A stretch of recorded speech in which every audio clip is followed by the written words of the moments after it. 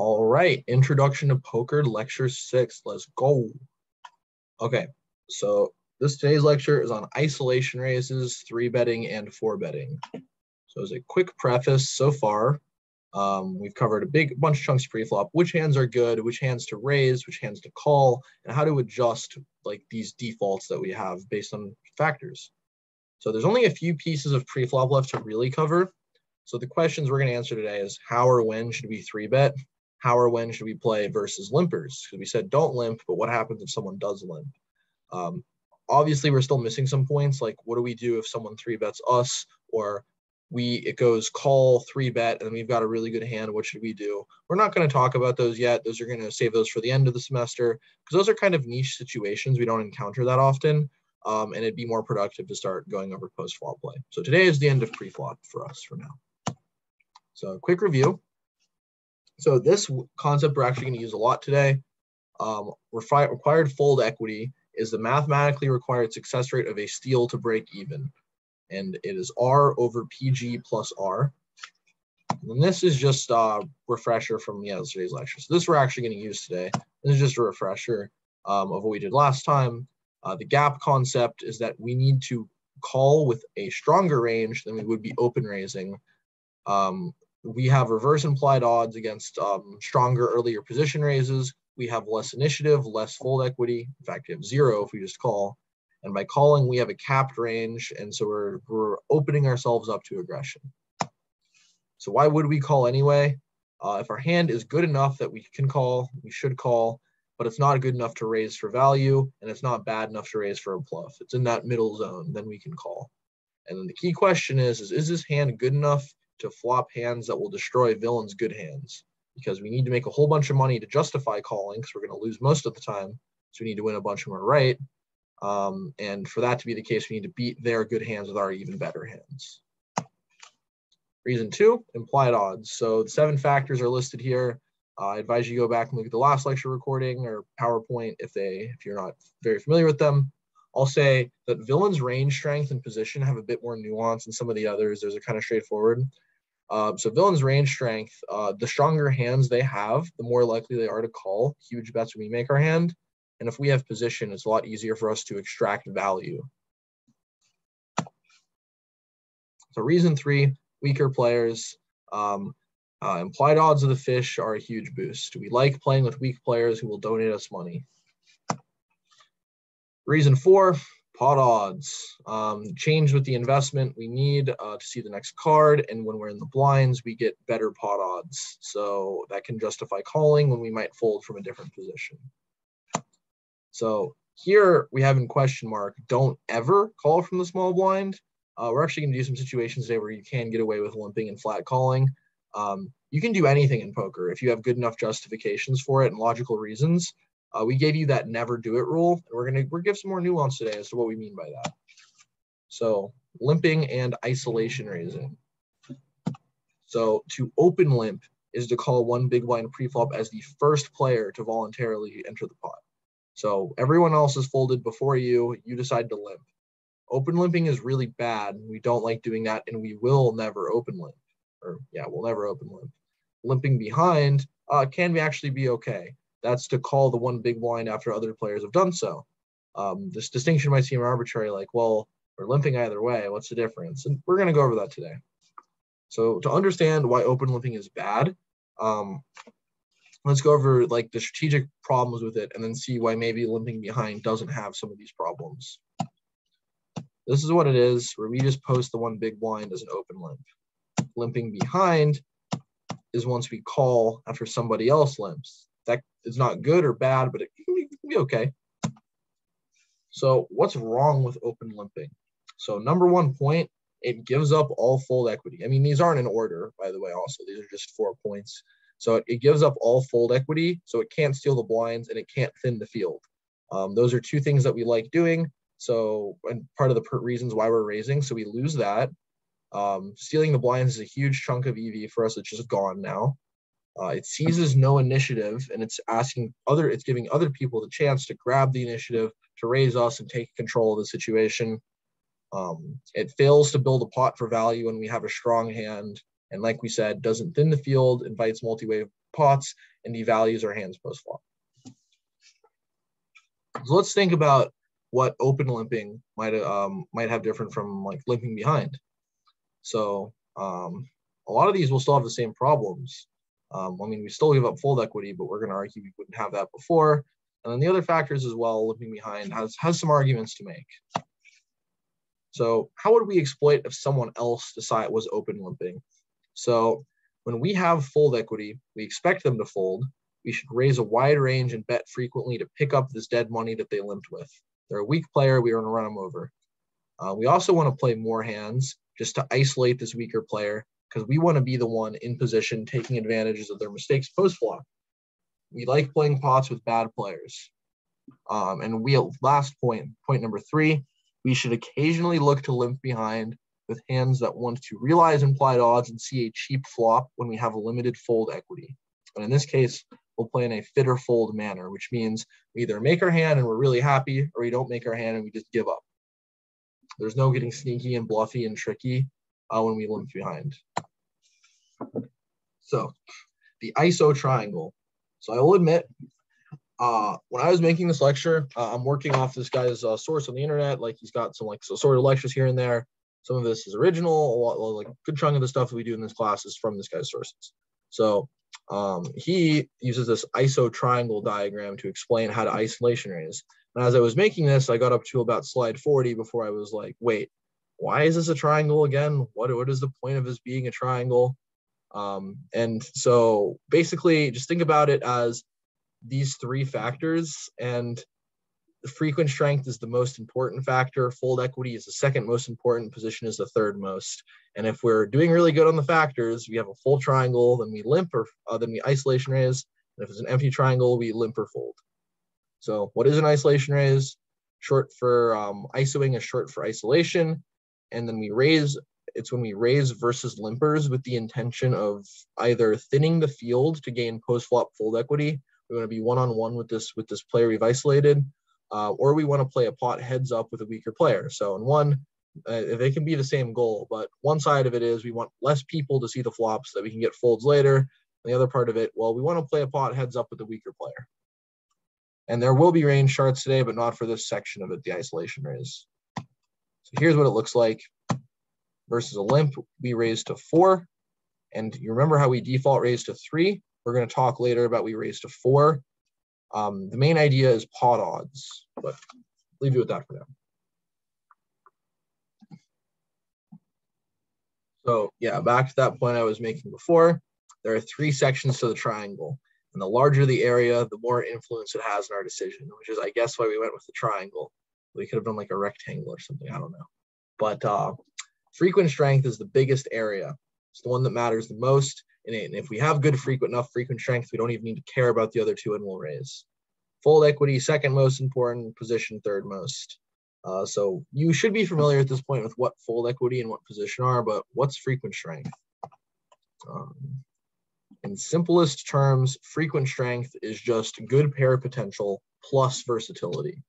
Um, a frequent strength is how frequently it flops strong hands. Um, flopping strong hands means either flopping good pairs or flopping good draws or like flushes or something. So, yeah, it's not too complicated.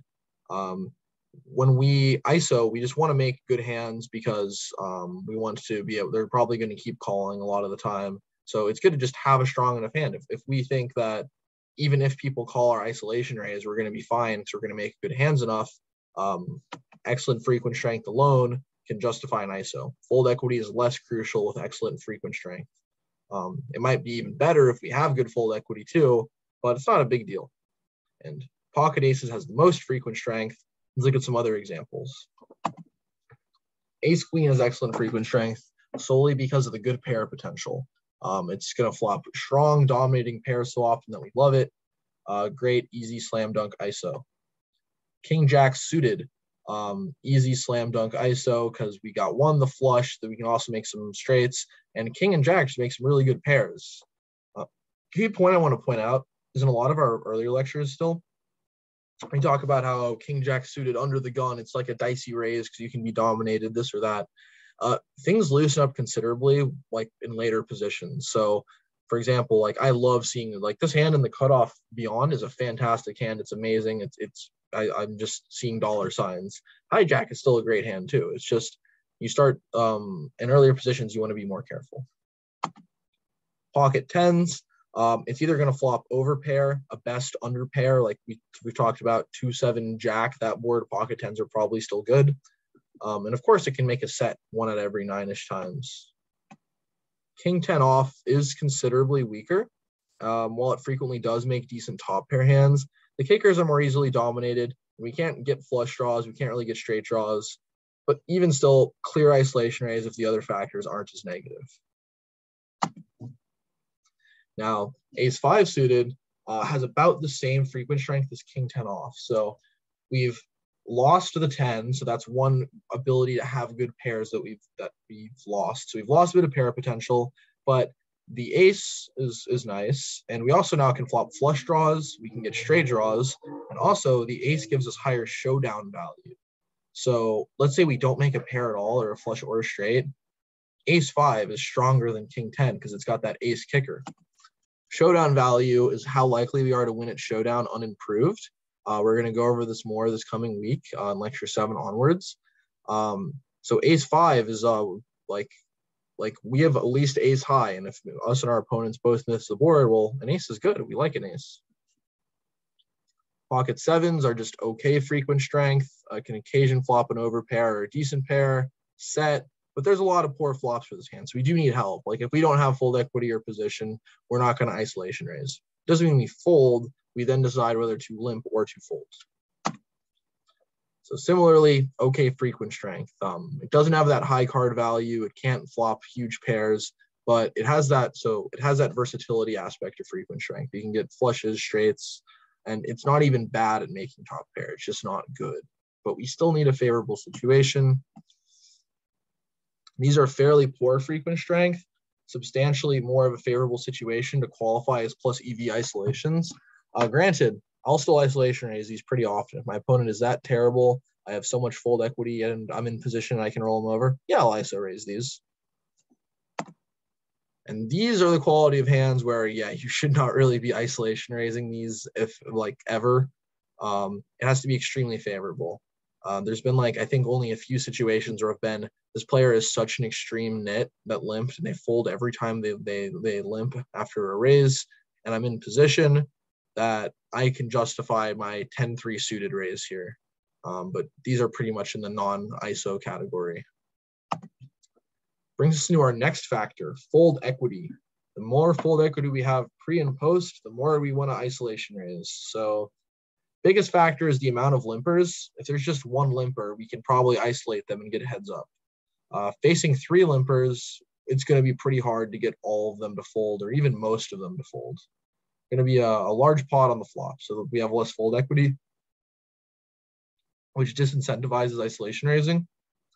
And also, if there are loose or aggressive players behind, this is going to make us want to raise less because we're more likely to get three bet or get called. Uh, the third factor we care about when it comes to fold equity is the types of fish that we're up against. So we're going to encounter these in more detail later, but as a quick rundown, there's the fit or fold fish, which we've talked about fit or fold. If they make a good hand, then they go crazy. Um, and if they don't make a good hand, they fold it oh, immediately. They are very straightforward, the most readable poker players in existence. My personal favorite to play against because I'll just make huge. I'll be able to make like a huge laydown after I've just seen how fit or fold they are. Um, oh yeah, I'll fold. I'll fold two pair on the flop because you're just betting like an insane amount, and then you show that you flopped a set. It's like, oh wow, I'm so surprised. Um, type B is the calling station. Uh, a station in general is just referred to a player who calls way too many bets. So a calling station will they'll get really attached to their middle pair and they'll call huge bets down to the river with their middle pair. Um, fish, it's what it sounds like. They're really aggressive. Um, and then whales, um, yeah, they just are super splashy. They throw money everywhere. Uh, all these, all these types of play, weak players are very profitable. Calling stations will call our bets. Fit or folds, we know exactly what to do. fish will dump money to us. Whales will do all of it, all of the above. So yeah. Last factor, position. We're going to encounter position pretty much everywhere. Being the last player to act post flop comes with huge advantages. Um, it adds fold equity to bets post flop because we're in position. People don't want to play out of position. It gives us control over the pot size. We can decide whether to bet, control the tempo, and we also, like always, we get that extra information. So now it's time to get into some hand examples. So importance of position. So wait, this was supposed to be on a pier. Huh, that's strange. It was on a pier when I first presented this lecture. Maybe I accidentally changed it. All right. Anyway, you see, uh, you see what we do. But okay, let's go through the factors. Factor one, frequent strength. Not great, but it's not bad. Nine eight offsuit, like it's not the greatest thing, but we can make straights. We can make okay pairs. It's not terrible. Now fold equity. So the small blind is a reg, so we can expect the reg not to get out of line. And in general, you're going to fold a whole bunch from the small blind. So we can take them out of the equation. The big blind is a nit, uh, so they're probably not going to interfere with our plan. And then we have position on this passive fish in the cutoff, who probably going to call our bet, honestly. But then post flop, we'll have a whole bunch of fold equity. Passive fish, and we're in position. We'll be able to run them over. Makes that alone is makes clear ISO. We got okay frequent strength, and then the passive fish will get run over because we've got so and we've got so much fold equity. Now, I'm gonna switch gears a bit, talking about all these ISO raising. Now we're gonna talk about limping behind. So we're only six lectures in. You've heard say don't limp a bajillion times. Limping behind can sometimes be okay. Um, specific terminology you might see is to complete, which is to limp from the small blind, essentially call the last half of the big blind. And we're only ever going to do it if there's been other limpers before us. And sometimes we can then justify doing it.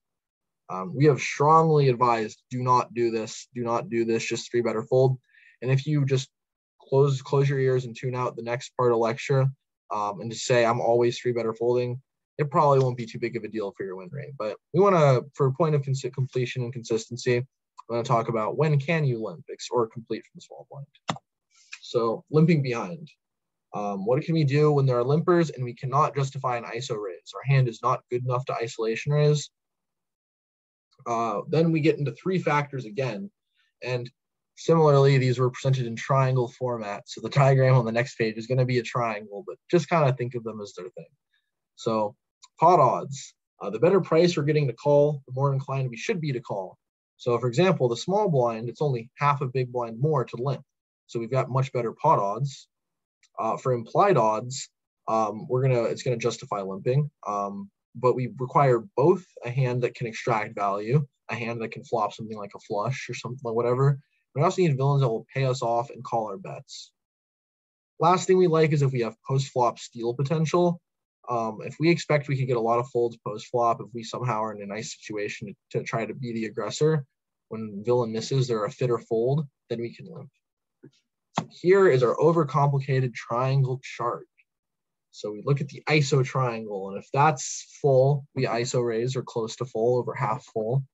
And then if not, we decide to look at the limping triangle and then do that. You can uh, take the triangles out of the equation if uh, you prefer to think about it as each factor logically.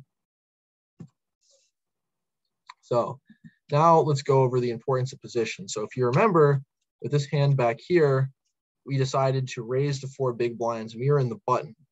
Um, the big blind was in the nit and the reg was in the small blind. So we're gonna shuffle the seats a bit. Now the reg is in the big blind and then the button's in nit. So the cutoff calls, the button folds. And what do we want to do now? So first look at the ISO triangle. Frequent strength says, once again, not great, far from useless fold equity, well, it's still favorable versus the limper, but the difference is, is the big blind isn't a nit now. The big blind is a reg, has position on us, and it'll make it hard to get heads up with the cutoff. It might get us make us vulnerable to three betting, give us grief post flop. Fold equity is a lot worse. Of course, we don't have position. So because of this seat swap, now that the we're in the small blind and the regs and behind us versus a net, we can't ISO raise. So what about the limping triangle? Pot odds are great. Uh, it's only half a big left to call, and the pot's 2.5. We're getting five to one odds. We need to win 16% of the time to call. the implied odds are uh, okay. Um, we can flop two pair straights and draws on equation. um, and there is a fish in the pot who may fail to fold a good pair to our straight. It's just we really want to play with this passive fish. So implied odds are good, pot odds are good. Last question is post flop steal potential. So this one's a bit trickier. Uh, oftentimes the cutoff will be fit or fold. Uh, and when the reg also misses, the reg might not be inclined to bet or they check or we go first and we can take down the pot right there. So all three factors are good, justify a limp. We like playing pots with fish to the point where we will limp 9-8 offsuit in the bit in the small blind just to get with the cutoff. That's what we call. All right. So the main reason we just inserted that bit about limping in the middle there was that we could have this digression where we compare. All right, here we'd iso raise, here we'd limp behind. Let's go back to iso raising. So we're going to talk about now how do you size that isolation raise we talked about, and very dynamic. It'll change drastically, but here is the following general rule. Um, we should raise to our default three big blinds and then add one for each limper and an extra one when hero's out of position. So this rule will give us enough fold equity to get the aims of the ISO, but at fishy tables, because players behind are so likely to call, we go even bigger to punish them. So at live one two, I'll raise to at least ten dollars facing a limper. I mean, a lot of times we'll even start raising to fifteen dollars facing one limper, so a seven point five x, just because I know like I'm gonna get calls, like even no matter how big I go. So yeah, and here why why do we pick this size? Uh, the key idea is that we need to call them more money to call. Um, because there's more dead money in the pot, plus it's going to cost them one less because they've already invested a big blind. Their pot odds improve significantly and they can easily call or raise more often. So to compensate, we increase our sizing to reduce the pot odds. Yeah. Example. So king 10 suited. First off, this hand is a clear isolation raise. Why? The frequent strength is great. King 10 suited. We can make straights, we can make flushes, versatilities there, we can make good pairs. Fold equity is not as nearly as good because we've got this cutoff in the cutoff, we've got a passive fish behind, and we've got an aggro fish in the small blind, and then there's some regs as well. So fold equity is less good. Um, but we're in position to the under the gun limper running a 56-17. That's crazy. A 56-17 is a terrible player. And so um, we want to play with them. Um, by the isolation sizing rule, uh, we'd go by default to three plus one equals four big blinds. But because players behind are more likely to call, we're going to size up. We want to charge this passive fish and maybe this aggro fish in the small blind. So we go to five big blinds instead. Now let's say on the other side of the coin, um, we have aggressive three betters behind. Look at these regs red three bet number uh, three bet numbers. 11% is huge. 7% in the big blind is definitely respectable. Same with five there for the small blind player. That's not high, but it's respectable. Um, so uh, we definitely still want to isolation raise because again, the under the gun is terrible. They're a 54, a 45 six. Uh, and ace jack has got a lot of frequent strength. It's a good hand. So we want to isolation raise. Our rule would tell us by default we raise to three plus one limper to four big blinds. But we know that because all these three bet happy players are behind us, we need to be able to defend better against three bets. And the way we can defend better is by raising smaller um, so that when we do get three bet, we can fold more easily or they it's to a smaller amount. So we downsize protect ourselves against uh, aggression and from getting abused. All right. General example. So again, isolation triangle here. Uh, this hand, okay, frequent strength. It isn't amazing, but far it's far from terrible. Uh, straights, flushes, make some pairs. Um, yeah, fold equity. Uh, we've got actually pretty decent fold equity. Um, we're only really worried here about the uh, big blind as a reg. Um, hijack can call, but again, post flop, we're never chilling. Uh, yeah, fold equity is very good. Um, limper's passive. Position, great, because we're on the button. All three things are in our favor. ISO raise. Yeah. Hold on. All right, that takes us to the crash course on three betting. Again, I'm amazed by my ability to talk quickly doing these recordings. This took way more time in person. We're at like minute 45 here. So there are two different kinds of three betting, linear and polar. Do linear first here. Linear is a three bet range that consists solely of hands we want to three bet, uh, and we may or may not have a range to call the open. So if someone open raises, we'll, we'll have hands we want to three bet because they're good, and then we might have hands underneath that we'll call. We don't always need to call it. We, it could just be we either three bet or fold like from the small blind. A polar range is considerably more complicated because now we've added bluffs. So we have hands we three bet for value, we have hands that we call and hands that we bluff with. So when we're when we're playing a polar strategy, we need to have hands that we call with.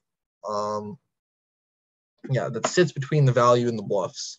The the idea would be is that if we had hands that were good enough to call, we were three betting them as bluffs. Like, why would we do that? And if we had a strategy where we three bet these hands for value, folded the eh hands in the middle, and then three the bluff worse hands, it wouldn't make sense either. So we end up just, um, we need a call range. Um, yeah, and we kind of do it. If it's good enough to raise value, we three bet. it's good enough to call, uh, then we call. If it's just barely not good enough to call, then we start three bet bluffing. These charts look like this. Um, yeah, and here the reason you see this question marks on hands with blockers. What's a blocker? Big bluffs with board coverage. What's board coverage? we're gonna save polar um, three betting for later in the semester because it's a bit complicated. Uh, for now, I'd say we're just going to focus on linear three betting strategies because they're straightforward and they're the ones we're going to use the most. Um, so here's our typical decision chart will look like. For now, we're just going to ignore this whole polar branch because it's hard. We're going to go linear only. So what is linear three betting? Uh, it is mostly with hands that we think are good and want to get in for value. Uh, there's two times we use it when we have limited fold equity and we don't just want a flat call. So limited fold equity would occur. Um, well, we don't want like if we say we had a lot of fold equity, then you'd want a three bet as a bluff, right?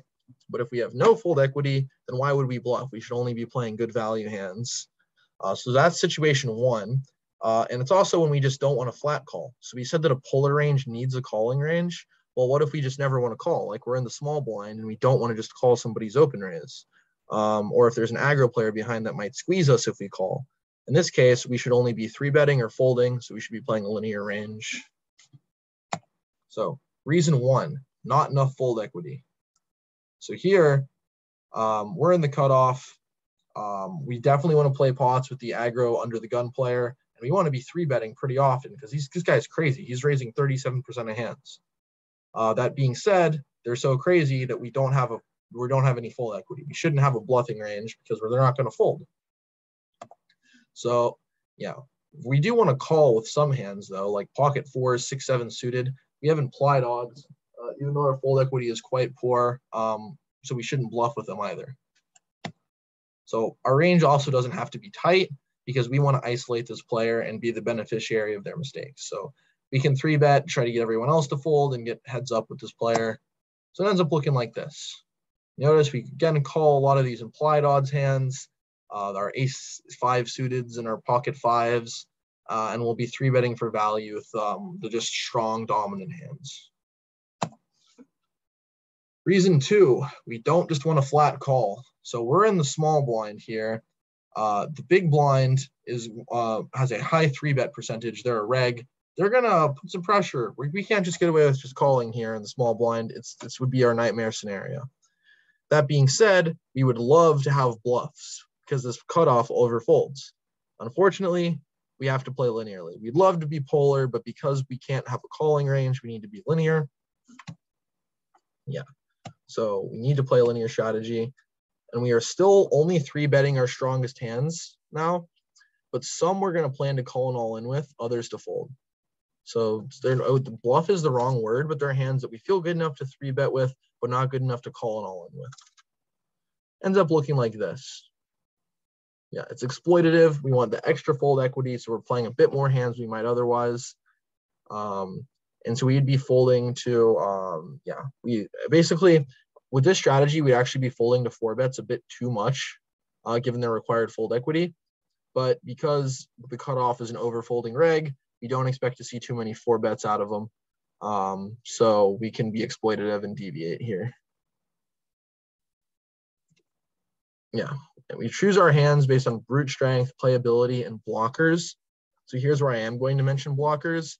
You see we're playing these ace five, four, three, two hands here and a lot of these suited aces. The best way to think about it is if there is an ace in our hand, there's only three aces left in the deck. Therefore, it's less likely our opponent has aces. So it's more likely they'll fold to our bet. Um, you, you can end up doing the probability and it actually becomes, it sounds small, but it becomes a huge thing where it's like 50% likely they have a hand, less likely they have a hand with aces or pocket aces when we have an ace blocker. And blockers are a huge part of high level theoretical hold'em. So sizing a three bet. Um, a key mistake is they size it incorrectly. We've seen a lot of people raising to like 14 versus a raise of six. So we should go to about three times again and then add one for every caller and one if out of position. So if someone raises to six, we can three bet anywhere from 18 to 20. Uh, doesn't matter too much which. Um, if there's an extra caller, you have to add on another 1x. We three bet to 24 to 26. Um, or if we're out of position, we're in the small blind, we add on one more to make them pay a bigger price to play a pot with us when we're out of position. So it kind of visually would look like this. It's about a little over 3x, like 3.166, I think there, 3.16. Yeah, around 3x is fine. So here are some common exploits when it comes to our three betting. Um, the more fit or fold they play, we should be inclined to open up our three bet. Um, we'll have post flop fold equity so we can play more hands. Uh, the crazier they play, same thing if they're crazy pre flop, we need to be able to make more strong hands. We need to be able to defend against aggression, so you might have to tighten up. Um, last point is fish defend a lot of their range to three bets as a natural tendency. Like people way over defend. Um, so the wider that they open, the wider we should feel comfortable three betting for value because they're going to call a whole bunch too. All right, so four betting. Um, again, this is like more of an afternoon, like afterthought. Like doesn't doesn't come up that often, but when we four bet, our main goal is to get as much money as possible with our super premium hands. We're gonna mix in some bluffs so that um, villain doesn't know for sure we have pocket aces because then it just makes life easy for him. But it's okay. They know we probably have a really strong hand. At this point, when they three bet us, they're saying, I've got a really strong hand. So it's okay that we four bet say, you know, I think mine's even stronger. It's we can let them have that information. Um, and again, we shouldn't get too sneaky with our aces, or we shouldn't get try to get too fancy and bluff a whole bunch with our weak hands. We should mostly be betting with our strong hands. We shouldn't be setting traps with pocket aces. Just don't be fancy. ABC poker raise. So here is an example four bet range chart. If you notice, this looks kind of freaky. Um, and it's a serious oversimplification that could definitely be misleading. We always need to include range, um, like bluffs in our four bet range, because if it's just all value hands, it'd be aces, kings, queens, jacks, ace, king. Like that's not good, enough. and everyone will just fold. Um, and don't get too fancy. A lot of mistakes beginners, a big mistake a bunch of beginners make is they see ace five suited and their eyes light up and they say, "This is it. It's my chance to go crazy and four bet for no reason." Um, if it ends up being in a favorable situation, you're like, okay, I can I can raise ace five suited here. Oh, I got three bet. Oh, it makes sense to four bet bluff here. Then you can you can work it in. Um, same thing with the six five suited and the seven six suited. Uh, I'd actually advise if like because again I don't want people to just get out of line with this craziness. The bluff with ace jack offsuit instead. If we block aces, um, and it's it's less of a downside if we're doing it too often because it's not a bad hand. Um, jacks are often too weak to four bet against villains under the gun. Like if villain raises under the gun, I'm not four betting jacks. Um, um, three bets me on run of the gun. I'm not going to four bet jacks against them. That'd be nuts. Uh, last point, you might be wondering why some of these are marked yellow as four bet folds. So ace five suited, we like to four bet it because it can make flushes, it can make straights, um, and because it has the ace blocker. Um, we like seven six suited and six five suited because it can make flushes, it can make straights, and it also just connects with lower cards in the board. Um, we want this goes again board coverage, we're going to do more in detail later, so we're putting it off. But we don't want it if we only had jacks plus once the board comes like seven six five. Our opponent knows, well, they don't have a strong hand here. This is easy for me. They don't have a good hand, so I can just bully them relentlessly. You want to be able to have good hands on a variety of board textures. And yeah, last point, value hands more frequent than bluffs. Okay, sizing a four bet. So a key mistake a lot of players make is assuming that we're also going to four bet two three times because that's what we raise to, that's what we three bet to, so that's what we four bet to, right? Not actually. We want to go to around 2.1x uh, and out of position 2.3x. And if there are callers, and this is very rare, we're not going to add a full 1x. We're going to round like 0.7, uh, 0.75. Doesn't happen very often. Here's some quick examples. We'd want to four bet a $20 raise to like 42. So why this change from three to two? Uh, there are a couple of reasons for this. So to talk about it, we're going to talk a bit about minimum defense frequency. This is the percentage of our overall range we need to call or raise with to prevent villain from exploiting us. So if villain has a required fold equity on a bluff of like 60%, if we fold more than 60% of the time, then uh villain can just bluff per like bluff profitably with any hand. So we need to call at least 40% so we don't fold 60%. Now, if we end up calling even more than that, say we call 50%, then villain is actually incentivized to bluff less and value bet more because we're calling too much. We um, end up wanting to call about minimum defense frequency percent of the time to be profitable, play profitably. So here's where the key idea comes in. Um, villain only has to call minimum defense frequency of their hands facing our four bet. When villain three bets us, they're already saying, oh, I've got a really strong range. So if we blindly four bet to three times, we no longer put villain in a tough situation. The minimum defense frequency against our raise is so small that villain can pretty much just play their best possible hands and still be profitable. Before they're kind of on the fence in this tough spot where they say, man, I have pocket jacks and I'm facing a four bet. Should I call? What do I do? When we make it too big, we're just like, oh, I can fold. It's not a big deal. Um, another big deal is stack to pot ratio. Um, if we four bet to 100 bucks and villain only has 150 left, their only real options are to go all in or fold. Uh, the pot odds end up being it ends up giving them an advantage with the pot odds basically, um, where they're getting a better price on a call. Uh, it's wait, sorry, give me a sec. Yeah, so we want to avoid bloating the pot early. We want to avoid giving them an easy choice. And then the last part of it is just range narrowing, or well, yeah, sorry. Last part of it for, sorry, talking about range narrowing, talking about uh, stack to pot ratio is for deep stack poker. Um, if this, none of this stuff about four bet sizing applies if the stacks get really deep. So we're, we're for our class, we're assuming people are playing 100 big blinds deep. Let's say they're playing 400 big blinds deep. Um, in these kind of situations, uh, all of a sudden, well, now they're not getting they can't just go all in for 400 big blinds. The pot's currently like only sitting at like 30 or 40. They don't have the odds to do that. Um, it also, yeah, they, it's just there's also way more implied odds for us because instead of standing to win the like 80 big blinds they have left, you're now standing to win the 380 they have left. Um, so in these situations, we do start four betting at three times again. So we we'd four bet to 3x, uh, but then we'd like five bet to 2x, or we might even five bet to 3x and six bet to 2x if it's insanely deep stack poker. Um, and as you can probably guess, then the deeper the stacks are, poker gets more strategically complex and confusing. If imagine you only each player only had one big blind in front of them, then your options are go all in or fold. That's not very complex. The more money you add, the crazier things get. There's more implied odds and risk things we're risking at stake. So yeah, should it should be it for today's lecture. There's a visual of the four bet sizing. If they raise 9.5, we'd go to like 20. Yeah. And yeah, that's it. We're done with pre-flop for now. I'd say what to think about in the meantime. Try really hard to use correct bet sizings. Very easy way to get a massive jump in expected value. Picking the correct bet sizings will make you so much money. And all it takes is a matter of kind of being conscientious about, okay, what here I should be four betting to about this or three betting to about this, following the rules. Anyway, see you soon.